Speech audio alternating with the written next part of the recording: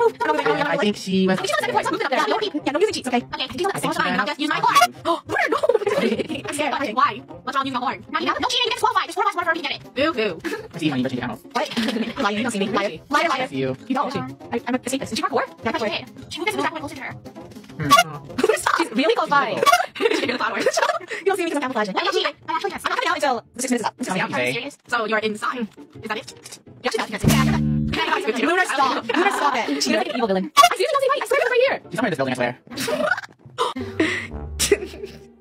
Wink, Dude, wink. my eyes are Blink, hurting. And I was by myself. How come I can't use abilities, huh? Lunar, because there's there is a bubble up, so I'm this area. I don't know the second floor. The second floor.